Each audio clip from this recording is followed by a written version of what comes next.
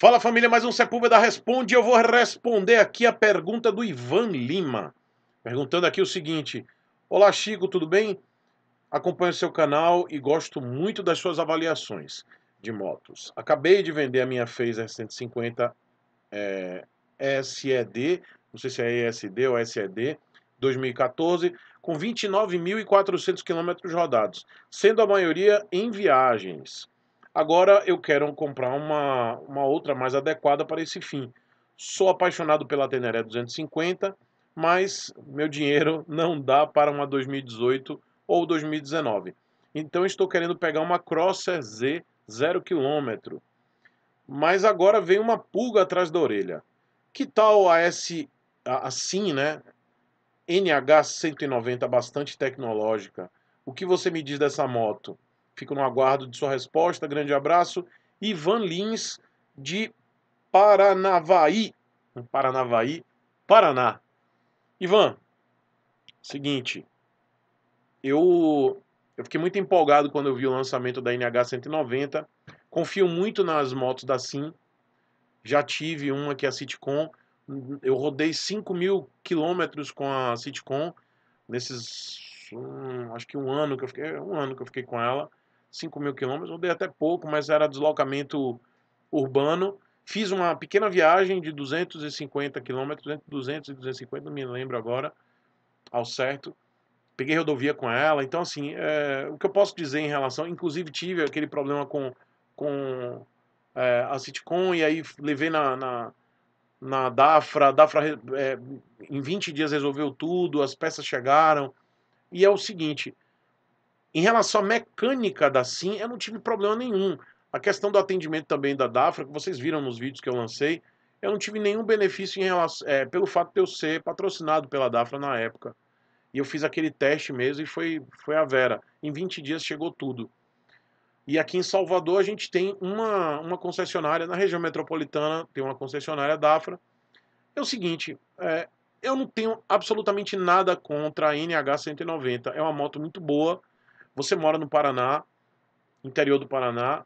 Eu não sei se você tem Dafra aí na tua região, se você tem Dafra aí próximo. Também eu não vejo nenhum problema de você é, fazer as manutenções em garantia numa outra cidade. Você faz o deslocamento. Poxa, imagina. Eu sou um cara que estou levantando a bandeira para a gente não ser binário, né? para a gente não ficar só preso nas marcas binárias, que é picolé de chuchu, asa de frango, é, Yamaha e Honda. Só que existem situações que eu sou compelido a, a indicar a vocês marcas binárias. Não pelo fato. É, eu não quero ser birrento, eu não sou birrento. Muitas pessoas que não me conhecem, muitas mesmo, que é, acham aqui no canal que eu sou birrento, né? Que eu não, não gosto. E quem me acompanha aqui, muitas outras que me acompanham aqui há muito tempo, entendem que eu sou chuchu lover, por exemplo. Eu, eu gosto da Yamaha.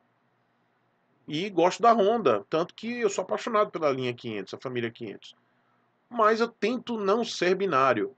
O que eu puder fazer para não indicar motos binárias só porque é Honda ou porque é Yamaha, eu não quero isso. Eu quero seguir uma linha lógica, racional, de indicar a vocês uma motocicleta certa e que eu tenha também a minha garantia de que eu não vou estar indicando um, um barril dobrado, né? Uma furada para vocês.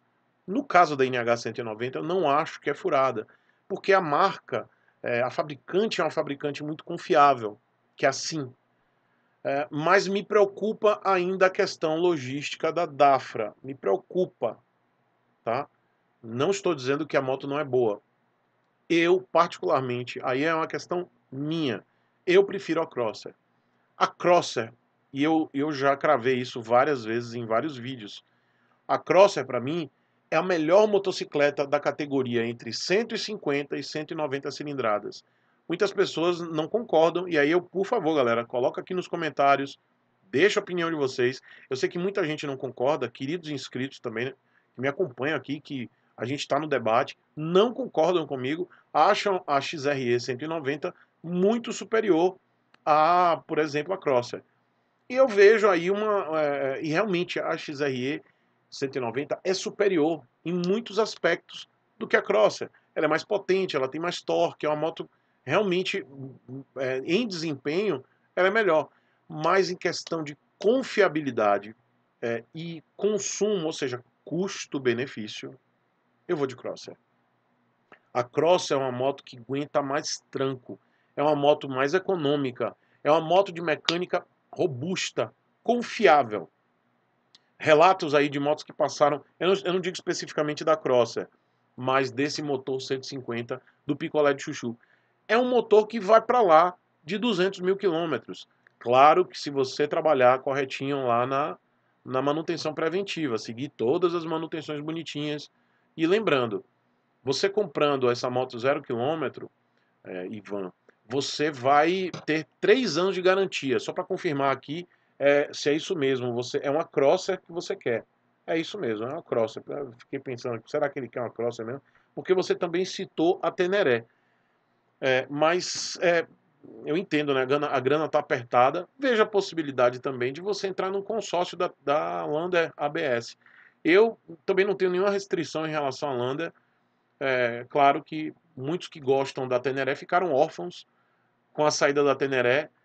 E, mas eu também não, não vejo problema porque a Lander tem agora ABS, assim como a Crosser tem um ABS de um canal, que é na roda dianteira, mas tem ABS.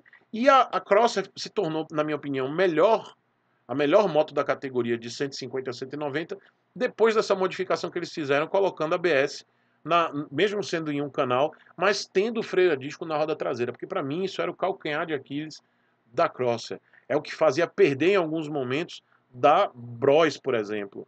E eu já fiz até um vídeo falando, é, escolhendo a Bros, porque naquele vídeo especificamente o inscrito ele queria uma moto mais segura, para que tivesse freio, e a preocupação dele era exatamente também essa questão do freio, a tambor na roda traseira, enfim, isso acabou. A Cross agora é uma moto realmente é, excelente, com freio a disco na roda traseira, ABS, então e, e um motor confiável, um motor durável.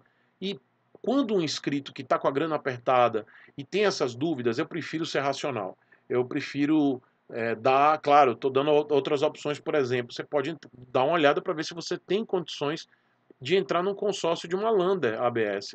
E aí eu entendo, realmente está apertado, mas quando a gente não tem grana, e é, é assunto até para outro vídeo, eu já falei sobre isso. Eu, quando eu não tinha condição de comprar uma moto à vista, é, eu, eu, e até hoje, por exemplo, algumas motocicletas que eu tenho estão financiadas. É, há pouco tempo eu não tinha nenhuma moto financiada, todas as minhas motos eram é, quitadas.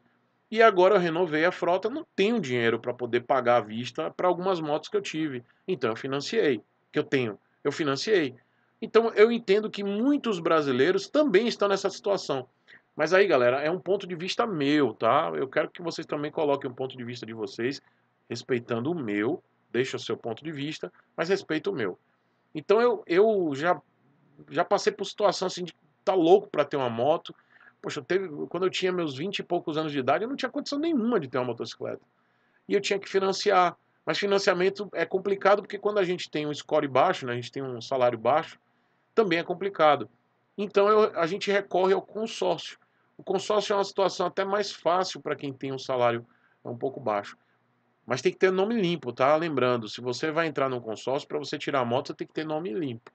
E a, a Yamaha ainda tem um negócio que facilita mais ainda Parece que mesmo você tendo nome sujo, ou tendo alguma complicação com crédito, eles têm ainda um, uma forma de você fazer o consórcio, fazer um financiamento com crédito baixo. E eu entendo, e o consórcio Honda, por exemplo, é, da, é o maior consórcio, né? Até então, não sei se hoje ainda é o maior, mas é um consórcio é, que também facilita muito acesso às pessoas a comprarem motocicletas. Então, quando a gente é ferrado, né, quando a gente está ferrado, naquele momento, é não, quando a gente está, né? Porque a gente busca não, não ser ferrado eternamente. Então, quando a gente está naquele momento de pouca grana, eu acho que é financiar o consórcio. Veja se você tem condição, Ivan, para você pegar uma Lander. Eu acho que a Lander seria uma moto muito boa para você. Mas, é, acho que para sua situação agora, Cross é zero quilômetro, é perfeita, moto é incrível. A moto vai, ter, vai te dar economia, vai te dar o conforto, vai te dar segurança, porque tem freio ABS. E a moto zero, né? Lembrando que a Yamaha dá 3 anos de garantia com manutenções preço fixo, parece uma coisa assim. Muito bom. Enquanto a NH 190, não sei, eu, é, não, não tenho certeza, mas eu acho que é um ano só de garantia. Uma moto muito boa, confiável também em relação à mecânica, mas é, eu ainda fico um pouco receoso de indicar assim, dizer, olha, vai, deixa a Crosser de lado e vai na NH 190. Mesmo se você me perguntasse, e a XRE 190? Eu diria, vai de Crosser. Eu já fiz vários vídeos aqui, e eu, mas é uma opinião minha. Eu prefiro um motor durável e confiável, que é o motor 150 da Yamaha Picolé de Chuchu. Tá bom, Ivan? Mas leia os comentários da galera aqui. O pessoal vai deixar aqui na, nos comentários a opinião. Então, assim, essa é a minha opinião. É mais uma opinião aqui na nossa comunidade. Então, leia. Alguns podem. E aí, galera, deixa aí os comentários, argumentem. Até mesmo quem quer indicar a, a XRE 190, coloca os argumentos. Quem tem XRE 190, coloca seu relato. Quem tem já a, a NH 190, coloca também o relato, ou alguma outra situação, ou quem está em dúvida, também coloca aqui nos comentários, tá bom? Eu espero ter ajudado, Ivan, mas a galera aqui também vai te ajudar bastante, beleza? Kit motociclista, kit motovlog já foi sorteado na semana passada, saiu para Ceilândia, Distrito Federal, foi o número 1317. Já entrei em contato com o vencedor, que agora não vou me recordar o nome, Deixa eu ver se eu acho aqui enquanto eu vou falando com vocês. Já, já entrei em contato com ele e já está tudo alinhado. Vou mandar e vocês vão acompanhar. Deixa eu só ver aqui quem foi que ganhou. Está aqui. Foi o Renilson José Barbosa. Ele que venceu uh, o kit Motovlogger, ganhou o kit né, completinho. E é de Ceilândia, Distrito Federal. Foi o número 1317. Tá bom? E lá também eu coloquei um novo kit, que é o kit motociclista, que está muito, muito legal, que tem jaqueta Tex Defender, que é lançamento, é linda, a jaqueta é linda mesmo. Calça Strike da Tex também, calça com proteções, e dá para você fazer a junção da calça com a jaqueta, né? Fica uma coisa só. É tipo um macacão, né? Não fica um macacão, mas você faz a junção, as duas da mesma marca. É, tem luva X11, tá? é, full, aquela completa, blackout, é a mesma que eu uso, e capacete no risk FF302 com viseira interna, que é o meu queridinho que eu gosto pra caramba. São somente 200 cotas de meta. Então vai girar rapidinho. Vai lá, acessa, tá aqui em cima, chicosepulveda.com.br. O link tá aqui em cima.